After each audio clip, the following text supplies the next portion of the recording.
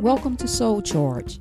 This evening we have with us Reverend Oscar Evans, and he will be sharing with us information on how to study the Bible. Welcome to Soul Charge. You need to fix up. And then the second thing about it was God needed him to, to go. He needed him to go and do something for him. And he needed somebody to go for him. So he says, Then said I, Hear my Lord, send me. And so in verse 9, he gets his calling. And so Isaiah opens his mouth and he goes and he tells the people, Hear ye indeed, but understand not, see ye indeed, but perceive not. You can go on and read the rest of the chapter. But that's pretty much what it what it says. So again, as we read the passage, we saw the different things in the text. What does the text teach me about God? What did we learn about God? Did we learn something about God tonight when we read that particular passage? Did you learn something about God? Did you learn something about about Jesus? You know, uh, what do you learn about him? What does the text teach you about Jesus? Because Jesus is God's son, and we live. We don't live in the Old Testament, but we live in the New Testament. In the New Testament, the Bible says things like I said before. If we confess our sins, He's faithful and just to forgive us our sins. That's the tongue off the altar that will clean us up. So we have the satisfying sacrifice of Jesus Christ who will cleanse us from all unrighteousness if we confess our sins. And so, uh, also, what does the text teach us about sinful humanity? That that we've all sinned and come short of the glory. Isaiah doesn't say y'all sin. He says, I, he says, the people who I live with, those people are sinful. They curse a lot. No, he started with himself. He says, woe is me. First of all, first and foremost, I'm, I'm unclean. He says, and then I know I'm unclean. I know the type of people who I live with. I walked outside yesterday on, on a conversation and some guys was outside talking. And man, I tell you, I said, boy, I remember a day I could get in that conversation, but I kept, I just, I didn't even stop because some of the stuff that was being said out there, in that particular conversation, I knew I didn't need to be a part of. I just let the brothers, they waved at me. and They said, hey, Oscar, I said, hey, man, good to see y'all, man. Y'all, y'all keep on keeping on. And, uh, but you know, uh, I, I, remember sometimes I, I I would be in that conversation. I didn't stop and just judge them or anything like that, but I just said, man, I just said to myself, I said, boy, I remember time I would have I would have been in that conversation, but now I know how to keep keep it moving and keep on going, uh, and not not stay there. And then finally, what does the text need you to do? That God needs us to do something. He needs each he some, needs something from each and every one of us. What does God want you to do? And sometimes it takes courage to do what God wants you to do. So what does the text want you to do? That's the those are the four questions that you always want to ask of any uh, particular passage as you read it. So uh, we're at the 720, like two minutes over. So we have got about three minutes. Are there anybody, does anybody have any questions or anything that you need to, uh, that you need to understand more? I'll give you that, I can open the floor for that.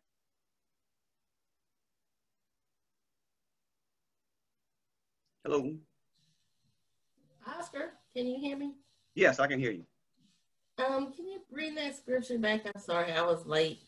But that last scripture that you were reading, I did not understand the second part of that. Which one? Uh, tell this people, hear ye indeed, but understand not, and see ye indeed, but perceive not. What I mean? Yeah, it, actually, uh, what he's he's about doing, I'm just, I just actually, if you're gonna read all of it in, in context, he's bas- basically saying that there's some. He say you you're hearing, but you you're really not understanding. Oh, there. Okay. But you, yeah, but you're not. This is the King, New King James version, so sometimes you have to read in, in another version. But um, this is uh, Jesus actually quotes this particular passage at, at one point in time when he's actually dealing with the Pharisees. He quoted it quite a bit uh, in the New Testament. But he said that you know there are some people you know you know, some people can hear stuff, but they just they just don't understand. It goes in one ear and out the other, mm-hmm. kind of scenario. So that's that's pretty much what he's talking about. A lot of people can hear, but they just don't understand, and they they can see stuff, but they just don't perceive. They can be right there in their faces, and they just don't get it. Yeah, because I read that, I was thinking he's sending. He wants to be sent, but he doesn't understand what he's supposed to be doing. So why would he even go there. No. yeah. yeah. See, so so the thing is, this now really, this is God telling Isaiah what he needs to go and do. Mm-hmm. You need you need to go tell this people that you, you're hearing, but you're not understanding. Because, in, like I said, in, in Right. ch- verses one through five, I mean, excuse me, chapters one through five, he's actually been telling them about, you know, the reason you are in the shape that you're in right now is because of some of the things that you've done. He, he talks about, I'll tell you some, in chapter one, he talks about, he said, you've prostituted yourselves. He said, you sold yourself to the highest bidder. You know, I used to take care of you. You don't even recognize the care that I've given you down through the years. You don't even recognize that I am the one who's brought you to where you are now. Uh, and so he he trying he's trying to get them to understand some things that they need to understand. And Isaiah has been a part of that conversation for five chapters. But when you get in chapter six, it's only when you get to chapter six, when his uncle dies, now, you know, he starts seeing things the way he really ought to see it. He has some glimpses of it, Mhm. uh, but he didn't really truly understand what it was he was actually seeing. I think that many of us can testify to that point that uh, Paul says we we see now, but through a glass is kind of dim. We don't see it all clearly right now, but one day we're going to clearly see it face to face. And as we grow, you know, that the expression hindsight is 2020. Mhm. Yeah. Does somebody else have something to say? I saw somebody with a hand up or something. Mike's muted. Okay, so that's that's for tonight. Uh, we'll get into some more. Uh, I really want to get into some more of the application because uh, that's the most important part of understanding Bible. When you read the Bible, James says you don't want to be go look at the Bible and be like a looking in the mirror and you see things that are wrong and out of place, and you don't fix what's wrong with with yourself. And so uh, he says you want to be not just hearers only, but you want to be doers of the word. And so we'll talk more about application uh, on the next time we meet. These are some of the interpretive things, and uh, and then we'll be uh, almost through with uh, this session of how to study the Bible. If you want to get more information, you want to see some of the other videos, you want to go back, you can go to soulcharge.net, and uh, there are postings of the first three classes uh, that are out there. You can go out there and you can and play them back. And if there's something that you missed, uh, you can actually go back and uh, be a part of that and see what, what's going on so you get caught up and come up to speed. There are also some handouts uh, and stuff that you can get as well uh, that are available on the site. Okay. So thank you for your time. It is 7:31. I did. I, I try to stay within the 30 minute time. Uh, thank you all for joining.